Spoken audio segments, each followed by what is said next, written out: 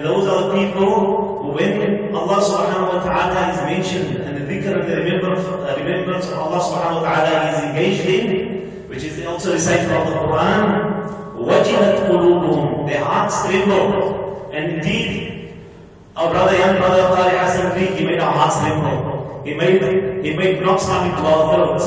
At times I made tears also come into our eyes Alhamdulillah.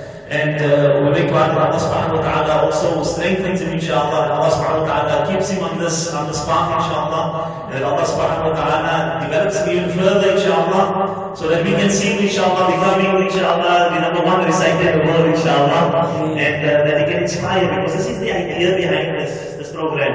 And I don't know if uh, Jama'ah has noticed the young ones in the when they are reciting, the young ones alhamdulillah they include.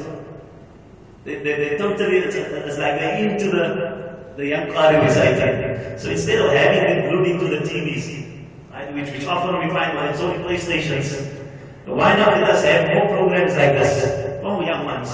Because sometimes we can tell them, you know, the Western media is bad and whatever, you know, don't watch these things. What alternatives are we organizing for them? What alternatives are we giving them? And here we can see, alhamdulillah, the alternatives that we can provide, that we can expose them to. Alternatives which are clean, alternatives which are beautiful, alternatives which are enjoyable and pleasurable. So that our children and their hearts, inshallah, their pure hearts, their innocent hearts, and must be affected with the right kind of things.